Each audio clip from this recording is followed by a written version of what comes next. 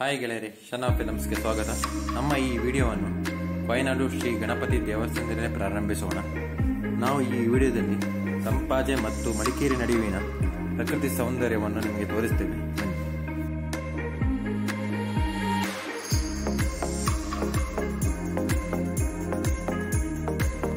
ಸಂಪಾಜೆ ಮತ್ತು ಮಡಿಕೇರಿ ನಡುವಿನ ದೂರ ಸುಮಾರು ಇಪ್ಪತ್ತೆಂಟು ಕಿಲೋಮೀಟರ್ಗಳು. ಸುಮಾರು ಹದಿನೆಂಟು ಕಿಲೋಮೀಟರ್ ಕ್ರಮಿಸಿದ ಮೇಲೆ ಸಂಪಾಜೆಯಿಂದ ನಮಗೆ ಒಂದು ಅಬ್ಬಿಕೊಲ್ಲಿ ಅಂತ ಜಲಪಾತ ಸಿಗ್ತದೆ. ಬನ್ನಿ ಗೆಳೆಯರೆ ಆ ಜಲಪಾತವನ್ನು ನೋಡೋಣ.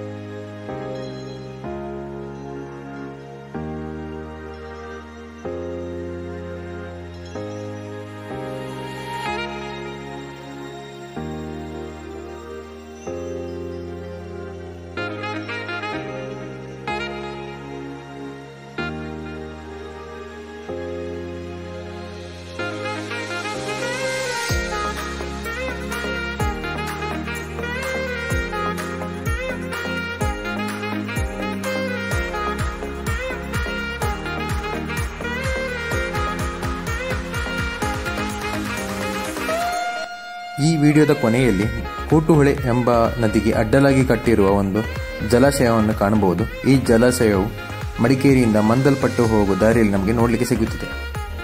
ಓಕೆ ಗಳಿರೆ ನಾವು ಇನ್ನು ಮುಂದಿನ ವಿಡಿಯೋದಲ್ಲಿ ಭೇಟಿಯಾಗೋಣ ಅಲ್ಲಿವರೆಗೆ ನಮ್ಮ ಈ ವಿಡಿಯೋನ ವೀಕ್ಷಿಸಿ ಮತ್ತು ನಮ್ಮ ಈ ಚಾನಲ್ನ ಸಬ್ಸ್ಕ್ರೈಬ್ ಮಾಡಿ. Okay take care boys